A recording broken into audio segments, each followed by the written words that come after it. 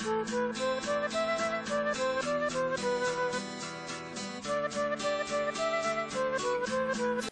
tout le monde, alors aujourd'hui je vous retrouve pour une petite vidéo euh, pour parler euh, d'un sujet qu'on parle pas souvent, euh, voilà, je n'ai pas trouvé beaucoup de vidéos qui en parlaient, pour parler des pieds tout simplement, parce que ben, moi je trouve ça important d'en parler, des fois c'est une partie du corps qu'on néglige, tout ça, moi j'ai mis beaucoup de temps à accepter mes pieds, à expliquer pourquoi je devais avoir un complexe pendant mon adolescence ou je sais pas, enfin bref c'était un peu compliqué.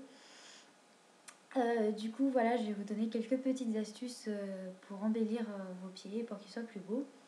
Donc déjà, à savoir qu'il faut, comment dire, se limer les pieds. vous allez me dire c'est un petit peu bizarre de se limer tout ça. Tout simplement parce que à force, en fait, à, force de marcher, on accumule de la peau morte sur les talons et sur la plante des pieds. Et du coup, ça fait une couche et c'est pas super joli en fait, ça fait un peu euh, négligé. Donc euh, pour enlever cette couche, il faut acheter euh, cette petite gratounette, je sais pas si ça s'appelle comme ça. vous la trouvez n'importe où, dans les pharmacies, grandes surfaces, tout ça. Là c'est une chôle. Voilà, et en fait ça va vous permettre d'enlever tout l'excédent de peau morte qu'il y a sur vos pieds. Donc c'est super pratique parce que quand vous avez fini, vous vous rincez à l'eau et après, toutes les petites peaux mortes s'en vont et c'est tout nickel. Voilà, donc ça c'est l'un des euh, éléments indispensables pour avoir de jolis pieds, c'est euh, se gratter les peaux mortes parce que euh, c'est pas très très esthétique et voilà, c'est le, truc de base à faire. Voilà. Ensuite, quand vous avez fini de vous gratter les pieds, ce que je vous conseille c'est de mettre une crème réparatrice. Donc là c'est crème réparatrice pour les pieds de la marque Carrefour. Voilà, euh, c'est une crème. C'est une crème assez grasse. Euh, je sais pas si vous voyez la texture, ce que ça donne.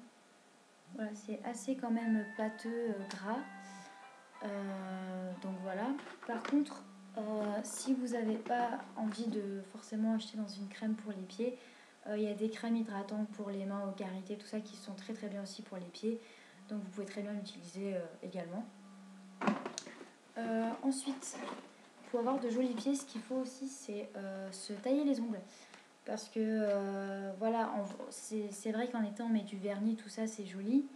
Mais il faut pas non plus avoir des ongles euh, en version cruelle à d'enfer, voilà, au pied, quoi. C'est pas très, très esthétique. Donc, je vous conseille d'utiliser un, un coupe-ongle pour couper vos, ongles. mais pas les couper trop courts non plus. Je vous conseille en fait de les, les couper juste à la limite de, de l'orteil en fait. Euh, que l'ongle ne dépasse pas, mais qu'en même temps, euh, il ne soit pas trop court. Quoi. Là, c'est la taille idéale en fait pour les pieds. Ensuite, quand vous aurez fini de les couper, je vous conseille aussi de les limer. C'est super important. Euh, déjà parce que ben, ça va être beaucoup plus lisse, donc plus joli. Et ensuite, ça va éviter d'accrocher dans les, dans les baskets, tout ça, parce que maintenant on met des chaussures fermées, mais ça va éviter d'accrocher, parce que les ongles qui sont pas limés, ça, ça comment dire, ça, ça fait des petits excédents d'ongles et du coup ça accroche sur les chaussettes, sur les chaussures, tout ça. Donc c'est pas, c'est pas super agréable. Donc euh, je vous conseille de limer euh, euh, vos ongles de pied. C'est très important. Et ensuite, ben, si vous avez envie, comme il fait pas beau en ce moment, enfin chez moi en tout cas c'est comme ça, comme il fait pas beau, je vous conseille de mettre du vernis rose ou transparent sur les pieds, comme ça c'est vachement discret et c'est mignon, c'est joli. Et si après vous voulez sortir, renvoyer vos pieds, tout ça, euh, euh, voilà, vous pouvez aussi mettre du vernis assez flashy. Euh, voilà. Après, c'est des idées. Donc voilà, vous savez tout ce que vous pouvez faire maintenant pour embellir vos pieds. Donc vous n'avez plus d'excuses et vous n'avez pas les cacher sous le sable à la mer ou dans vos chaussettes l'hiver. Donc voilà, j'espère que cette vidéo vous aura plu, qu'elle vous aura servi. Moi en tout cas maintenant j'assume totalement mes pieds alors qu'avant je ne pouvais pas me les voir.